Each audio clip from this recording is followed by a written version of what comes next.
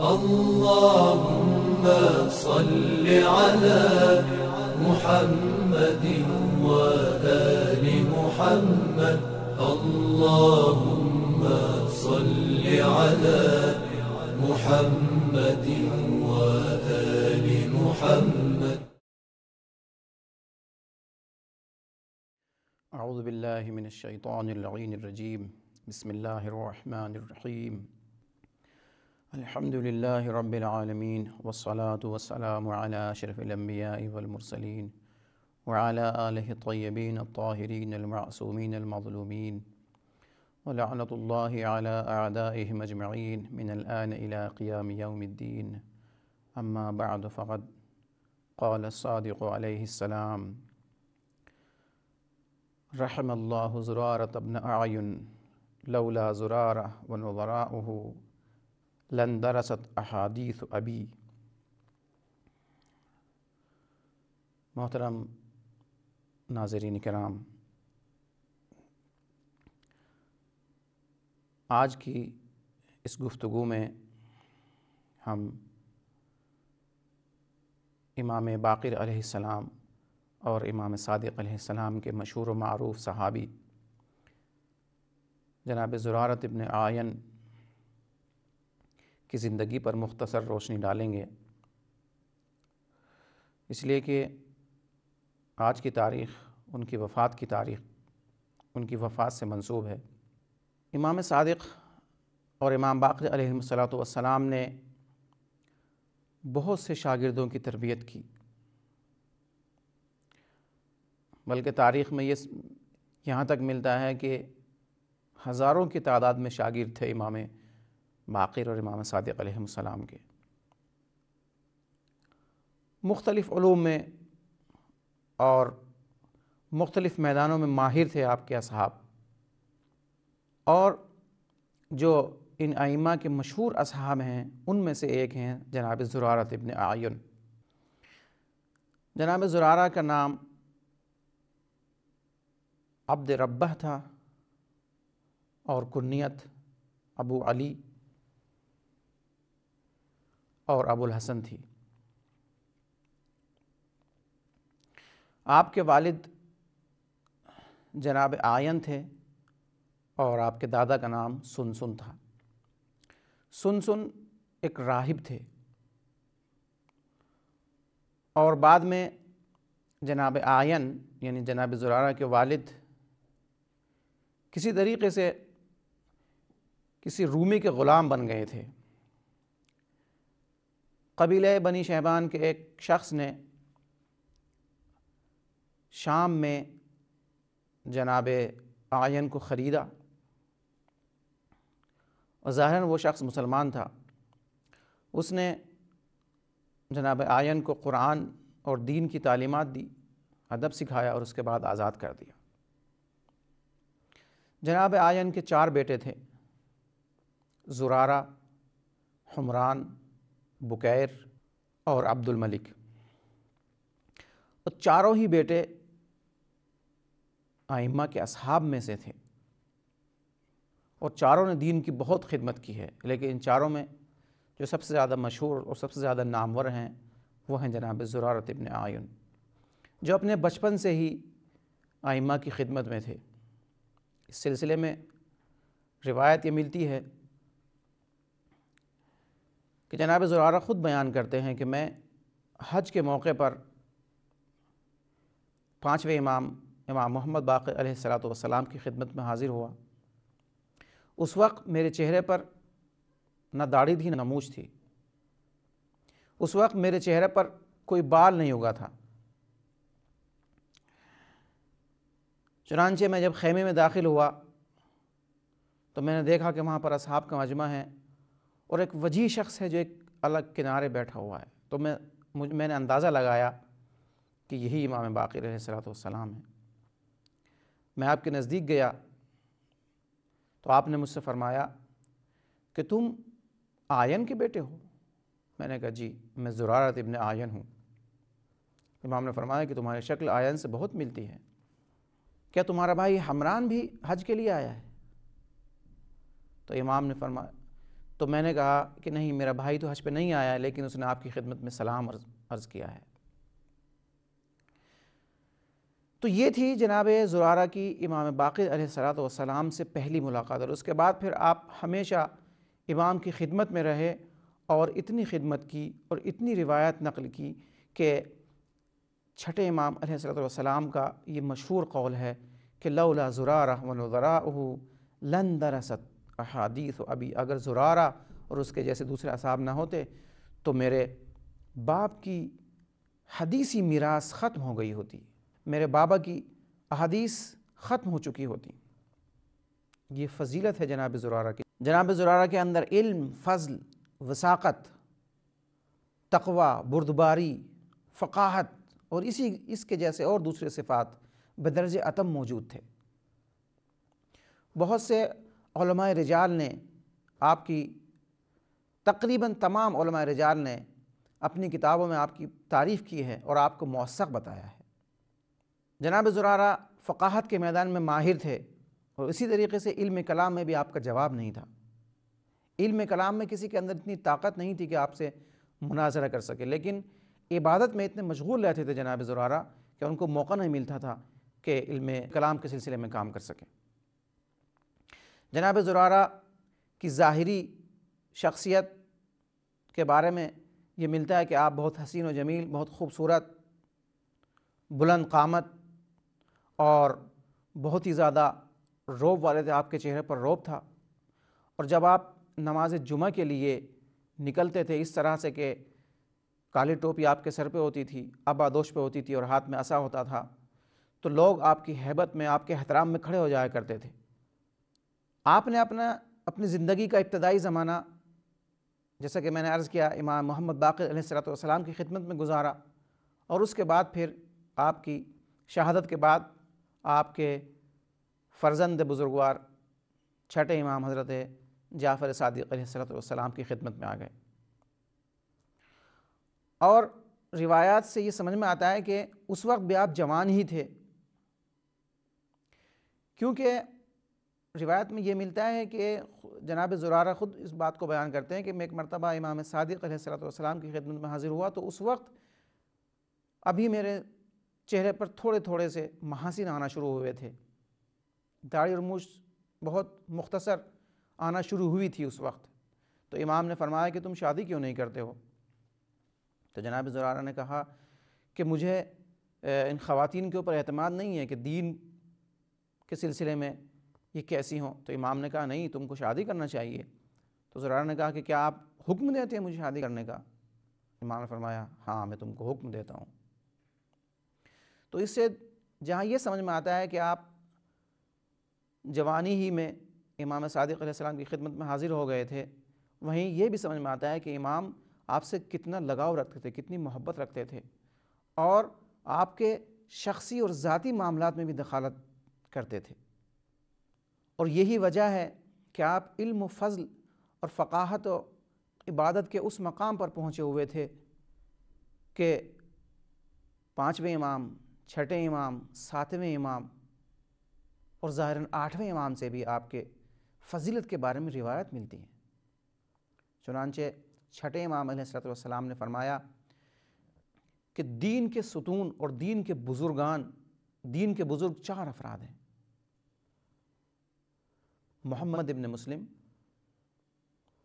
برید ابن معاویہ، لیث ابن بختری اور زرارت ابن آئین اس سے آپ اندازہ لگا سکتے ہیں کہ علم و فضیلت کے کس مقام پر فائز تھے جناب زرارہ؟ کہ امام فرماتے ہیں کہ دین کے ستون ہیں یہ افراد۔ اور جیسے کہ آپ نے ملاحظہ فرمایا، چھٹے امام نے یہ بھی فرمایا کہ اگر یہ لوگ نہ ہوتے تو میرے بابا کی حدیث ختم ہو جاتی میراث نبوت ختم ہو جاتی۔ آپ کی فقاہت میں، علم فقہ میں، آپ کی مہارت کے بارے میں ایک مشہور و معروف واقعہ ملتا ہے کہ جس سے یہ معلوم ہوتا ہے کہ چھٹے امام کو آپ کے اوپر کتنا اعتماد تھا، کتنا یقین تھا۔ امام صادق علیہ السلام کو آپ کے بارے میں روایت کچھ اس طرح سے ہے۔ حشام بن سالم کہتے ہیں کہ ایک مرتبہ ہم امام صادق علیہ السلام کی خدمت میں حاضر تھے۔ تبھی شام کا ایک شخص امام کی مجلس میں وارد ہوتا ہے۔ سلام کرتا ہے اور جواب سلام کے بعد بیٹھ جاتا ہے۔ امام نے فرمایا کہ تم کس لیے آئے ہو؟ تو شخص نے کہا کہ میں نے سنا ہے کہ آپ تمام سوالوں کا جواب دیتے ہیں، لہٰذا میں کچھ آپ سے سوال کرنا چاہتا ہوں۔ امام نے فرمایا تم کس علم میں گفتگو کرنا چاہتے ہو؟ تو اس نے کہا کہ میں علم علم قرآت کے بارے میں کچھ گفتگو کرنا چاہتا ہوں، کچھ سوالات کرنا چاہتا ہوں۔ تو آپ نے فرمایا، اے حمران، تم اس کے جواب دو۔ اور جناب حمران نے بدرج احسن اس شخص کے علم قرآت کے سلسلے سے جوابات دیے۔ جب اس کے سوالات ختم ہو گئے تو امام نے اس سے پوچھا کہ تم نے حمران کو کیسا پایا؟ تو وہ کہتا ہے کہ میں نے آج تک ایسا شخص دیکھا نہیں، یہ علم قرآت کے بارے میں ماہر ترین شخص ہیں۔ اس کے بعد اس نے کہا کہ میں ادبیات کے بارے میں کچھ سوال کرنا چاہتا ہوں۔ تو امام نے جناب ابان ابن تغلب کی طرف رخ کر کے فرمایا کہ علم ادبیات کے سلسلے میں تمہارے سوالوں کا جواب یہ دیں گے۔ اسی طریقے سے جناب ابان ابن تغلب نے بھی بہترین طریقے سے اس کے جوابات دیے۔ اسی طریقے سے اس نے مختلف علوم کے بارے میں سوال کیے اور جب اس نے کہا کہ میں علم فقہ کے بارے میں سوال کرنا چاہتا ہوں، تو امام نے فرمایا کہ جناب زرارت ابن آئین تمہارے سوالوں کے جواب دیں گے۔ اور جناب زرارہ نے اس کو بہترین طریقے سے اور اتنے اچھے طریقے سے جوابات دیے کہ وہ شخص دنگ رہ گیا، وہ شخص تعجب میں پڑ گیا۔ اور جب مناظرہ ختم ہو گیا تو امام صادق علیہ السلام اتنے خوش ہوئے کہ ہنسی کی وجہ سے آپ کے دندان مبارک چمکنے لگے۔ تو شخص نے کہا کہ کیا آپ مجھ پر یہ ثابت کرنا چاہتے ہیں کہ آپ کے اتنے عظیم شاگرد ہیں، تمام علوم و فنون میں اتنے ماہر شاگرد ہیں آپ کے۔ امام نے کہا ہاں میں تجھ پر یہی ثابت کرنا چاہتا ہوں۔ تو وہ مرد شامی کہتا ہے تو پھر مجھ پر بھی یہ رحم کیجیے مجھ پر بھی یہ لطف کیجیے کہ مجھے بھی اپنے شاگردوں میں شامل کر لیجیے امام نے حشام ابن حکم کی طرف رک کر کے کہا کہ حشام تم اس کو اپنے شاگرد میں لو اور اس کو علوم و فنون کی تعلیم دو۔ یہ ہیں امام کے شاگرد، یہ ہیں امام کے اصحاب کہ اتنا اطمینان ہے امام کو کہ پورے اطمینان سے کہہ دیتے ہیں کہ دیکھو جس علم میں تم کو سوال کرنے میرے ان شاگردوں سے سوال کرو جناب زرارہ اتنے جلیل القدر اور اتنے عظیم صحابی تھے اور انہوں نے دین کی اتنی زیادہ خدمت کی کہ جس کی نظیر بہت ہی مشکل سے ملتی ہے۔ اسی وجہ سے ان کے خلاف ایک محاذ آرائی ہے۔ بعض لوگ ان کے خلاف نہ جانے کیا کیا باتیں کہتے ہیں اور صرف آج نہیں ہے اور یہ بات صرف آج کے زمانے سے مخصوص نہیں ہے، بلکہ خود ائمہ کے زمانے میں یہ بات موجود تھی۔ چنانچہ اس سلسلے میں یہ ملتا ہے کہ بہت سے لوگ آ کر کے امام سے جناب زرارہ کی برائی کرتے تھے اور امام بہت غمگین ہوتے تھے اس چیز کو سن کر کے۔ اتنا اطمینان تھا امام کو۔ چنانچہ جمیل ابن دراج اس روایت کو نقل کرتے ہیں کہ وہ، نقل کرتے ہیں، وہ کہتے ہیں کہ میں ایک مرتبہ امام صادق علیہ السلام کی خدمت میں حاضر ہوا۔ تو میں نے دیکھا کہ ایک شخص امام کے پاس سے نکل کے باہر جا رہا ہے۔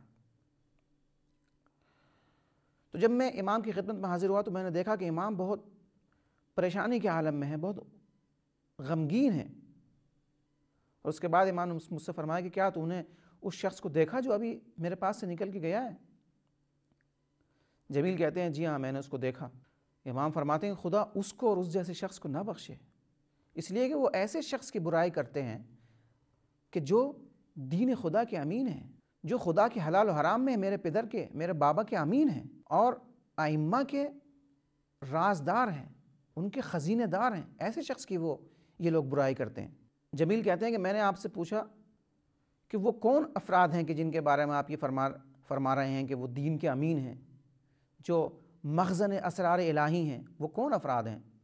تو امام نے فرمایا برائد ابن عجلی زرارت ابن آئین، ابو بصیر اور محمد ابن مسلم۔ اور اس کے بعد آپ نے ایک عجیب جملہ فرمایا۔ آپ فرماتے ہیں کہ خدا ان پر زندگی میں اور ان کے مرنے کے بعد ان پر رحمت نازل کرے۔ بعض لوگ یہ کہتے ہیں کہ ٹھیک ہے جناب زرارہ، امام کی زندگی میں یا ایک بعض مدت میں بہت اچھے تھے، بہت زاہد زاہد تھے، عابد تھے، صادق تھے، لیکن بعد میں وہ منرف ہو گئے تھے۔ اور امام نے جو ان کی تعریف کی ہیں، وہ اسی زمانے سے متعلق ہیں کہ جس وقت وہ ایک اچھے آدمی تھے۔ بعد میں ہو سکتا ہے وہ بگڑ گئے ہوں۔ تو اس کے جواب میں ہم یہ بات پیش کرنا چاہتے ہیں کہ امام فرماتے ہیں کہ خدا زندگی میں بھی اور مرنے کے بعد بھی ان پر رحمت نازل کرے۔ امام تمام چیزوں سے آگاہ ہوتے ہیں۔ امام آئندہ سے آگاہ ہوتے ہیں افراد کے۔ لہٰذا اگر جناب زرارہ کے گمراہ ہونے کے امکان ہوتے تو امام یہ جملہ نہ فرماتے۔ کہ مرنے کے بعد بھی خدا وند عالم ان پر رحمت نازل کرے۔ اور اس کے علاوہ ہم یہ دیکھتے ہیں کہ خود آئمہ نے جناب زرارہ سے حدیث نقل کی ہے۔ جناب زرارہ کے حوالے سے لوگوں کو لوگوں کے سامنے حدیث بیان کی ہے اپنے آبا و اجداد کی۔ اور یہ کب ہوا ہے؟ یہ جناب زرارہ کی وفات کے بعد ہوا ہے۔ تو یہ ہم یہ نہیں کہہ سکتے کہ وہ آخری عمر میں گمراہ ہو گئے ہوں۔ چنانچہ اس سلسلے میں روایت ہے یہی ابن حبیب کہتے ہیں کہ میں نے امام رضا علیہ السلام سے پوچھا کہ سب سے بہترین چیز کہ جو انسان کو خدا سے نزدیک کر دیتی تھی وہ کر دیتی ہے وہ کیا ہے؟ تو آپ نے فرمایا کہ روزانہ کی واجب اور مستحب نمازیں جو کہ چھیالیس رکت ہوتی ہیں۔ تو راوی کہتا ہے کہ میں نے امام سے کہا کہ یہ تو زرارہ کی حدیث ہے کیا آپ زرارہ سے حدیث نقل کر رہے ہیں؟ تو امام نے فرمایا کہ کیا تم کسی کو اس سے بہتر جانتے ہو، جو جس نے حق کو آشکار کیا ہو، جس نے حق کو ظاہر کیا ہو۔ یہ دیکھ رہے ہیں، یہ آٹھویں امام زرارہ کی تعریف کر رہے ہیں اور زرارہ سے حدیث نقل کر رہے ہیں۔ اسی طریقے سے امام موسیٰ قاظم علیہ السلام سے روایت ہے۔ امام فرماتے ہیں کہ روز قیامت فرشتہ آواز دے گا کہ محمد صلی اللہ علیہ وآلہ وسلم، کہ ہواری کون ہیں کہ جو اپنے آخری عمر تک نبی سے کیے ہوئے عہد پیمان پر باقی رہے انہوں نے کبھی بھی نبی سے کیے ہوئے عہد پیمان کو نہیں توڑا۔ وہ کہاں ہیں؟ تو اس وقت سلمان، مقداد اور ابوذر بلند ہوں گے۔ اسی طریقے سے پھر آواز دے گا کہ علی ابن ابی طالب کے حواریین کہاں ہیں؟ تو بعض افراد جب بھی بلند ہوں گے۔ اسی طریقے سے امام حسن، امام حسین اور علی ابن الحسین، امام سجاد علیہ السلام امام باقر، سب کی سب کے بارے میں فرشتہ ندا دے گا کہ ان کے حوارین کہاں ہیں اور بعض افراد جو ان کے خاص افراد تھے وہ بلند ہوں گے۔ اس کے بعد پھر ملک آواز دے گا کہ جعفر صادق کے حواریین کہاں ہیں؟ وہ کھڑے ہوں۔ تو اس وقت عبداللہ ابن شریک عامری، زرارہ ابن آئین برید ابن معاویہ، محمد ابن مسلم، ابو بصیر، عبداللہ ابی یافور عامر ابن عبداللہ بن جزاء حجر ابن زائد حمران ابن آئین بلند ہوں گے۔ اسی طریقے سے آخری امام تک کہ اصحاب کو فرشتہ آواز دے کے بلند کریں گے۔ تو آپ نے ملاحظہ فرمایا، ساتویں امام یہ بیان کر رہے ہیں کہ فرشتہ یہ کہہ کے آواز دے گا کہ وہ لوگ کہاں ہیں کہ جو آخری عمر تک اپنے زمانے کے امام سے کیے ہوئے عہد و پیمان پر باقی رہے۔ لیکن عزیزو، یہ جو روایات ملتی ہیں جناب زرارہ کے بارے میں، کہ جناب زرارہ آخری عمر میں بہک گئے تھے یا گمراہ ہو گئے تھے، یہ روایتیں ملتی ہیں، بعض روایتیں یہ ملتی ہیں کہ امام صادق علیہ السلام نے جناب زرارہ پر باقاعدہ لانت کی ہے۔ اور اپنے اصحاب کو یہ کہا ہے، اپنے اصحاب سے کہ دیکھو، اگر زرارہ مر جائیں تو ان کے جنازے میں شرکت نہ کرنا، ان کی قبر کے اوپر نہ جانا۔ یا یہ کہا ہے کہ زرارہ نے ہم پر اور ہمارے آبا و اجداد پر جھوٹ بہتان باندھا ہے اور جھوٹی حدیثیں ہم سے نقل کی ہیں۔ لیکن عزیزو، ہم ذرا تاریخ کا کے پس منظر میں ہم جائیں تو ہم کو اس کی علت معلوم ہوگی، اس کی وجہ معلوم ہوگی ہم کو کہ کس وجہ سے امام نے یہ باتیں کی ہیں اور اس کے بعد پھر امام نے کس طریقے سے دفاع کیا ہے جناب زرارہ کا۔ صرف ایک طرفہ حدیث کا مطالعہ کرنے سے کوئی بات حل نہیں ہوتی۔ چنانچہ روایت میں یہ ہے کہ جس طریقے سے بنی امیہ نے اہل بیت اور شیعوں کے اوپر ظلم ڈھائے ہیں، اسی طریقے سے بنی بنی عباس نے بھی ظلم کے پہاڑ توڑے ہیں امام اور امام کے اصحاب پر اور امام کے چاہنے والوں پر۔ اور اتنے زیادہ ظلم کیے ہیں بنی عباس نے کہ بنی امیہ نے بھی اتنے ظلم نہیں کیے ہیں۔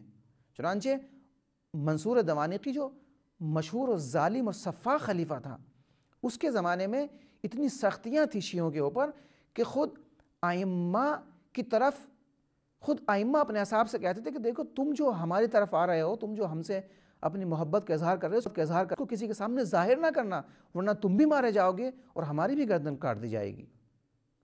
تاریخ میں ملتی ہیں یہ سب باتیں۔ چنانچہ منصور دوانی کی تاک میں لگا رہتا تھا کہ کسی طریقے سے موقع پائے اور امام کے خاص اصحاب کو قتل کر دے۔ چنانچہ زرارہ جو امام کے خاص اصحاب تھے، ان کی طاق میں اس کے جاسوس لگے ہوئے تھے۔ اور وہ جاسوس امام صادق علیہ السلام کی مجلس میں بھی حاضر رہتے تھے۔ امام کے درس میں، امام کی امام کی بیٹھک میں وہ لوگ آتے تھے اور دیکھتے تھے کہ امام کس طریقے کا برتاؤ کرتے ہیں اپنے اصحاب کی طرف۔ تو ایسے ہی موقع پر کہ جب خلیفہ کا ایک جاسوس موجود تھا امام کی خدمت میں، تو اس وقت ایک صحابی امام کی خدمت میں آتا ہے تو امام اس سے پوچھتے ہیں، کیا تم نے زرارہ کو نہیں دیکھا؟ تو وہ کہتا ہے، چند دن سے میں نے ان کو نہیں دیکھا ہے۔ تو امام کہتے ہیں کہ اگر اگر وہ مریض ہو جائیں تو تم ان کی عیادت کو مت جانا۔ اور اگر ان کی وفات ہو جائے تو ان کے تشیح جنازے میں شرکت نہ کرنا۔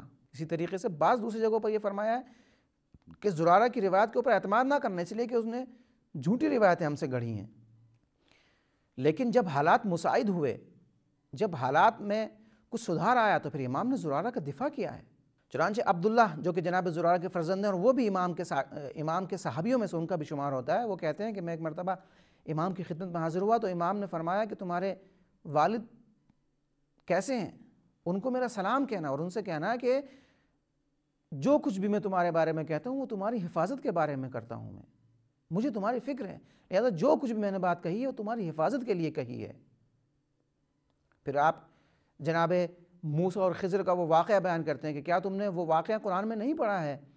کہ جب جناب خضر اور جناب موسیٰ کشتی میں سوار ہوئے تو جناب خضر نے اس کشتی کو عیبدار کر دیا، اس کشتی میں سوراخ کر دیا۔ تو جب جناب موسیٰ نے پر اعتراض کیا کہ آپ یہ کیا کر رہے ہیں، تو جناب خضر نے یہ کہا کہ میں اس کشتی کو عیبدار کر رہا ہوں تاکہ اس کشتی کی حفاظت کر سکوں، اس لیے کہ یہ کشتی ایک مرد مومن کی ہے۔ اور میں جانتا ہوں کہ اس کے پیچھے ایک ظالم بادشاہ آ رہا ہے اور وہ تمام جو اچھی کشتیاں ہوتی ہیں ان کو غصب کر لیتا ہے۔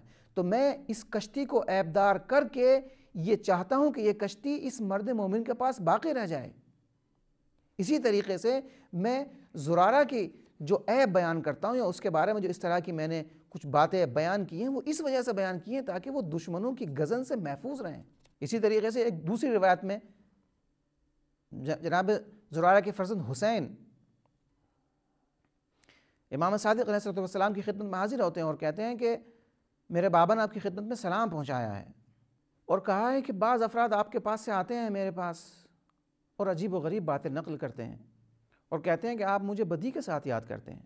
تو امام نے فرمایا کہ تم جا کے زرارہ کو سلام کہہ دینا اور ان سے کہہ دینا کہ ہم جو کچھ بھی کرتے ہیں تمہاری دنیا اور آخرت کی بھلائی کے لیے کرتے ہیں۔ خدا کی قسم ہم تم سے راضی ہیں۔ لہٰذا اس کے بعد لوگ جو بھی تمہارے بارے میں کہیں ان پر توجہ نہ کرنا، ان کو کوئی اہمیت نہ دینا۔ یہ ہے جناب زرارہ کی شخصیت۔ جب ہم ان دونوں احادیث کو دیکھیں گے تو اس وقت پھر ہم کو جناب زرارہ کی حقیقت کا پتہ چلے گا۔ اور جس طریقے سے ہمارے آئمہ نے بعض اوقات تقیے سے کام لیا ہے، اسی طریقے سے امام کے اصحاب بھی تقیے سے کام لیتے ہیں۔ مشہور روایت ہے کہ جب جناب زرارہ کا وقت آخر آیا اور آپ اور آپ مرا، اور آپ مریض تھے تو لوگ سوال کرتے تھے کہ امام کون ہے؟ اس وقت چھٹے امام کی شہادت واقع ہو چکی تھی۔ تو لوگ سوال کرتے تھے کہ ان کے بعد امام کون ہے؟ تو اعتراض کرنے والے اعتراض کرتے ہیں کہ زرارہ جو کہ امام کے خاص شاگرد تھے، کیا ان کو بھی نہیں پتا کہ امام صادق علیہ السلام کے بعد امام کے جانشین کون ہیں اور ساتویں امام کون ہوں گے؟ اس لیے کہ اس وقت ایسا زمانہ تھا کہ لوگ مختلف فرقوں میں بٹ گئے تھے۔ بعض لوگ اسماعیل کو خلیفہ ماننے لگے تھے، بعض لوگ مرجیہ ہو گئے تھے، بعض لوگ ابو الخطاب کو ماننے لگے تھے۔ تو ایسے زمانے میں جناب زرارہ نے بہت احتیاط سے کام لیا، اس لیے کہ ظاہراً روایتوں سے یہ معلوم ہوتا ہے کہ یہ امام کا حکم تھا، امام کا حکم تھا کہ تقیے سے کام لیں۔ لہٰذا جناب زرارہ نے یہ آشکار نہیں کیا کہ ان کے بعد کون امام ہے۔ کہیں ایسا نہ ہو کہ امام کی ساتویں امام امام موسیٰ قزم علیہ السلام کی جان کو کوئی خطرہ لاحق ہو جائے۔ چنانچہ انہوں نے اپنے بیٹے کو مدینے بھیجا اور کہا کہ جاؤ تحقیق کرو کہ امام کے، امام صادق کے بعد ان کے جانشین کون ہیں۔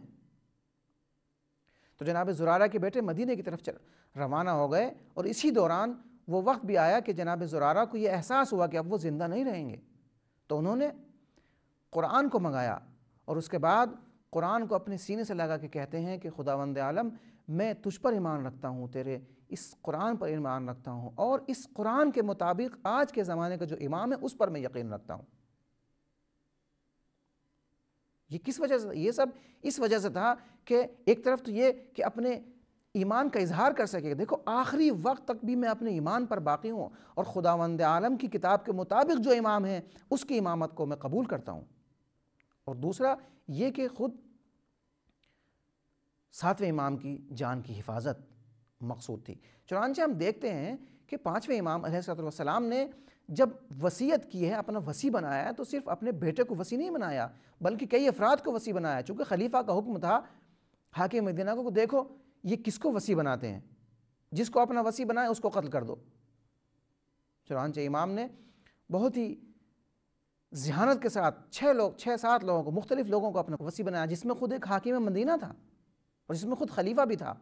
اس کے بعد پھر جب خلیفہ نے پوچھا کہ کس کو وسیع بنایا تو کہا کہ اس میں ایک نام میرا بھی ہے ایک نام آپ کا بھی ہے بتائیے کس کی گردن کاٹوں؟ تو اس نے کہا، نہیں، تم رہنے دو۔ انہوں نے بہت ہی ذہانت سے کام لیا ہے۔ چنانچہ اسی طریقے سے خود ائمہ نے بھی بعض اوقات تقیہ سے سے کام لیا اور اپنے اصحاب کو بھی اس کا حکم دیا تاکہ دین محفوظ رہ سکے، دین کے ذمہ دار محفوظ رہ سکیں آئمہ کی زندگی محفوظ رہ سکے اور خود شیان حیدر کرار اور شیان آئمہ کی زندگی محفوظ رہ سکے۔ اور جناب زرارہ نے اسی راہ میں اپنی جان دی اور آخر وقت تک ولایت کے اوپر باقی رہے۔ آشا سعیدن و ماتا سعیدن فرحمہ اللہ۔ والسلام علیکم ورحمۃ اللہ وبرکاتہ۔